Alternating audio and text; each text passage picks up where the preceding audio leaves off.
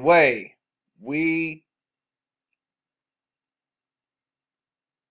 go. Okay, I have this goofy astrology for dummies guide that I picked up on the newsstand over there at uh, Books a Million a couple months ago.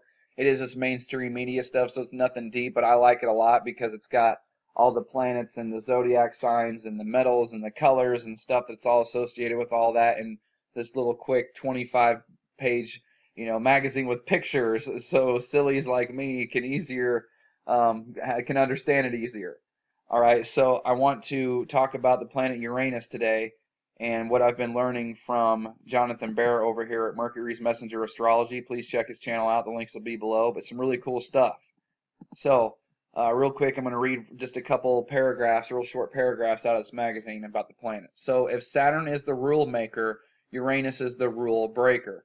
The planet is named after a god in Greek, Greek mythology who ruled the universe in astrology. Uranus is considered the planet of shocking game changing events, personal freedom, originality, individuality, tech savvy, innovation, progress, emphasis on progress, and sudden shifts that may completely disturb the status quo for better or for worse. And this will be going, this planet will be going retrograde starting August 7th. So whenever that happens, when Uranus is retrograde, which occurs about once a year, we're prodded even more than usual to make changes personally and globally. All right? And so that's happening starting August 7th. Now, Uranus, it says here, stays in one sign for about seven years. Now, learning from John here, this is totally cool. So it's going to, it's currently in Aries, but it's moving out of Aries and will move into Taurus May 16th, 2018. So about a month from now, as of today, April 14th. And it'll be moving from Aries again. Like I said, um, it's moving from Aries into Taurus. That will be May 16th.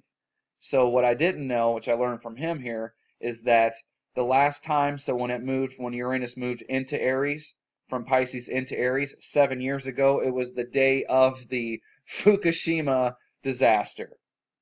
And we move backwards counterclockwise, so now we're moving Aries into Taurus. And as I even showed uh, from a video from an astrologer, astrologer on YouTube named Barbara, where she said two years ago that that will be very interesting to see what happens. And she even said is that that could be a moment for uh, a shakeup. She said she would not be surprised to see a shakeup in the financial markets.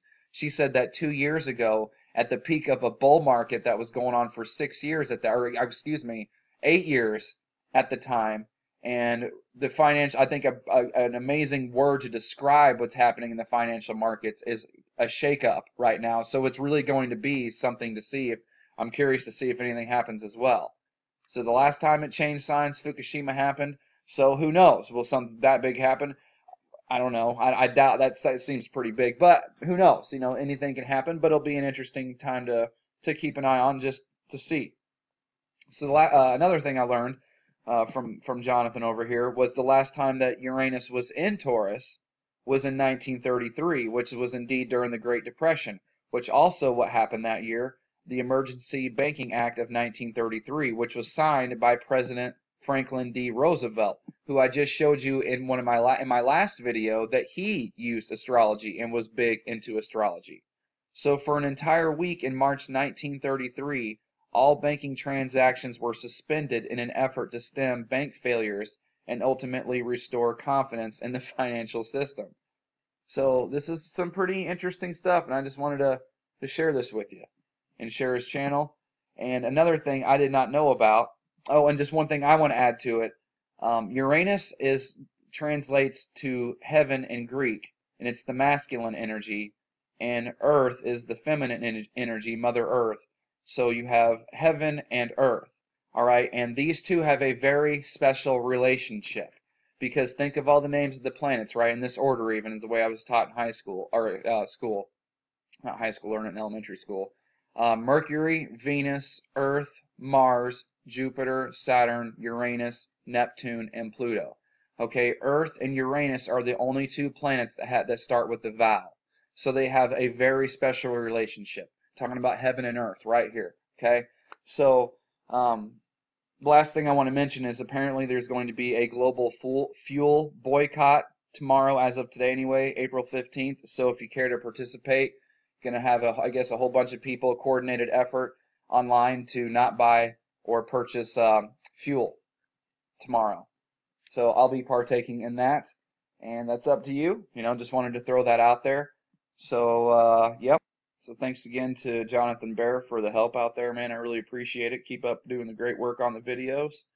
And uh, yeah, so Uranus is considered the planet of shocking, game-changing events. So we'll see if anything like that comes about when it changes signs next month. And so last but not least, if you like my videos or like my content, please like, share, buy my music at the links below. If you want it for free, just send me a message and I'll send it to you.